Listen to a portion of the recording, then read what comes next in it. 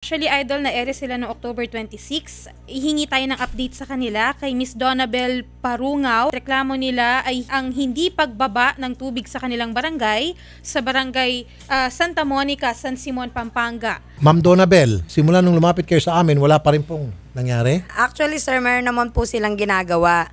Meron po silang hinukay na drainage. Ah, ang magiging fallback pa rin po nito pagdating ng ah, dat- pagdating ng susunod na tag-ulan is babalik po sa amin ng tubig. Bakit po? Ba't babalik? Ah, kasi po, yung pong, ito po kunwari yung mga lugar namin, hinarangan na po to ng pabrika. Poultry po ito. Okay. Dito po sila bumutas. Aha. Meron pong box culvert dito na dapat po buhay ito. Eh dati sinahan din po to nung may-ari ng poultry. Opo. Ito na po ngayon ang binubuhay nila. Ang kaso po, patay po, wala pong dire-diretsong drainage ang lahat ng pabrika sa Quezon Road. Ang takot po namin, So babalik din yung tubig? babalik din po. Magandang hapon po, engineer. Alam niyo na po ang dahilan ng kanilang problema, ba't sila napunta rito? Ano po? Ah, Yes, sir. Bakit ho yung ginawa niyong aksyon, hindi naman daw po talagang permanent solution, bagkos yung po'y patsi-patsi lamang at ang masaklap pa nito ay yung tubig na supposed to be eh, lilinisin nyo na, eh babalik din pala sa kanila. Hindi naman na, namin project ng munisipyo yan. No? It's a project of a private corporation, yung Rail Steel, no? Being the municipal engineer, dahil nagko-complain sila, I'm, I'm, I'm on the mon- monitoring side, no? Sinecheck ko lang yung ginagawa nila. So, ang, ang ginagawa niyan, eh, ang Rail Steel, private corporation. Pinangako ko nga na magkakaroon ng meeting sa barangay.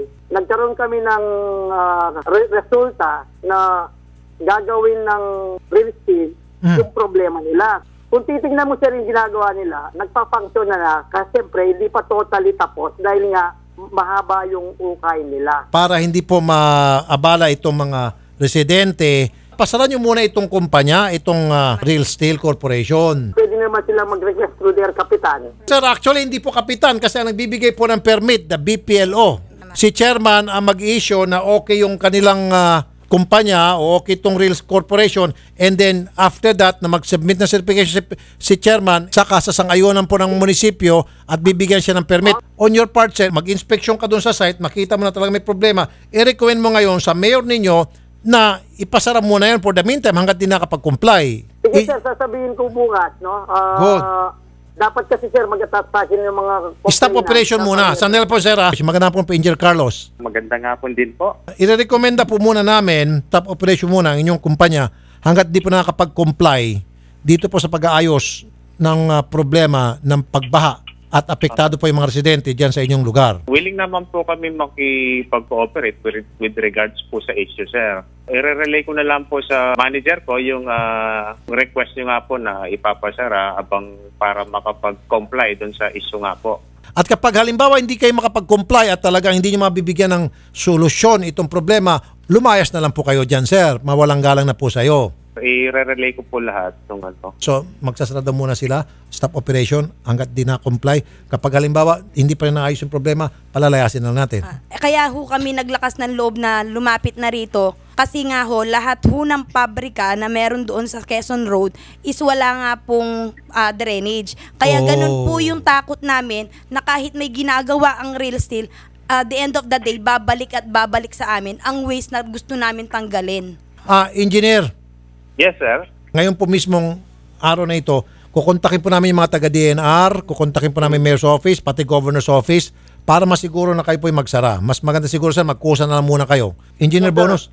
So sir, recommend muna for closure. Kami po'y darating dyan tomorrow. Pupunta ako sa department, departamento ng permitting, no? Ah, at sasabihin ko na yung recommendation for closure mo. Pa, Opo, pa- opo.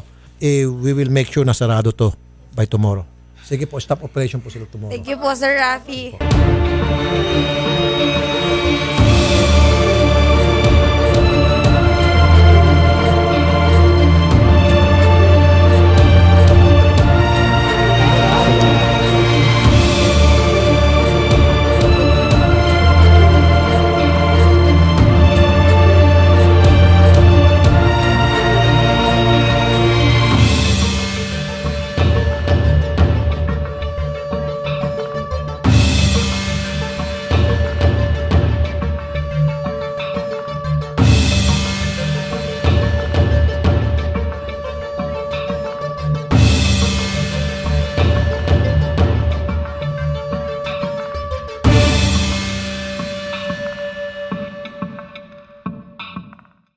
hong puspusan ang naging ayuda sa amin, hindi ho haabutin ng halos kulang limang buwan ang tubig. Engineer, nagtanong ho ako sa inyo, di ba? Sabi ko ho, ah, siguro naman by December, hindi na ho kami magpapasko na may tubig. Ang sinagot nyo, engineer, is titignan natin. So nag-meeting po tayo sa barangay October 27 po.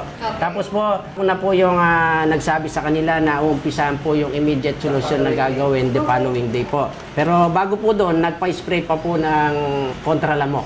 Yun po yung start ng paghukay nila. Tapos po, tuloy-tuloy yan. Yung immediate solution, nagawa na natin. Nag-inspection tayo kanina, napatunayan natin na bumaba na yung tubig, dumadaloy na dun sa ginawang immediate solution. Si Real Steel eh willing naman pong tumulong sa mga residente, particularly sa Barangay San Isidro at saka Barangay Santa Monica po. Habang on progress pa po yung long-term solution natin, so ayun, nag-commit kami ng immediate solution. Kumbaga yung dalo yan. Yan yung da- dalo yan. So, man-mano po yung pag, ano, pag-excavation po. We're expecting by next year, sana matapos ito para hindi na kayo maka-experience ng flooding doon sa area. Salamat po. Real estate committed na siya na iso-shoulder niya yung yung drainage.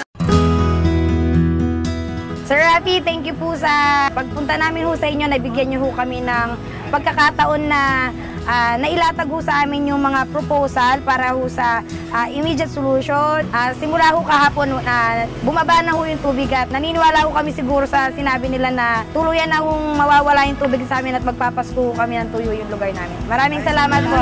Salamat, Idol!